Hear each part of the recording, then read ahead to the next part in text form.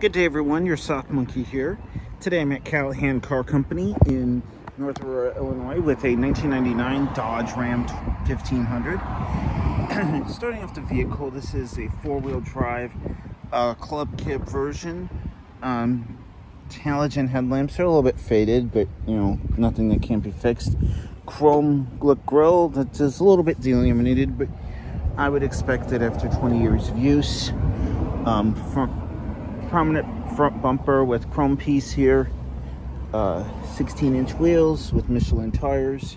This is a V8 Magnum and this truck only has 66,000 miles on it. Um, it's relatively clean. Load center console has the uh, floor mounted uh, transfer case right there. Has a uh, bug deflector that's a little bit broken, but I mean, so clearly this truck would be in need of a little bit of TLC, but it looks all there. Uh, so this has the three, this has the 5.9 liter uh, V8, otherwise known as the 360. Um, has the uh, fuel door right there.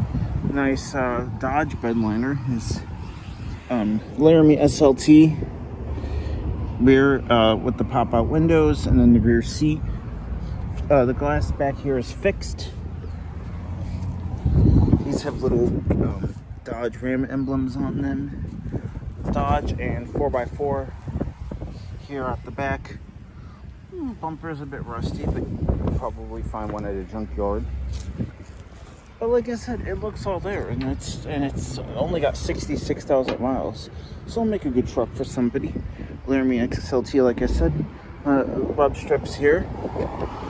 Has your auto check um, these also came in the 5.2 liter, which was also known as the 318, and the uh, also came in the uh, 3.9 liter V8, and then no, I'm sorry, V6, not a V8, and it also came in a uh, the uh, three quarter ton, the 2500, it's like that one over there, came in a uh, 5.9 liter uh, inline six cylinder.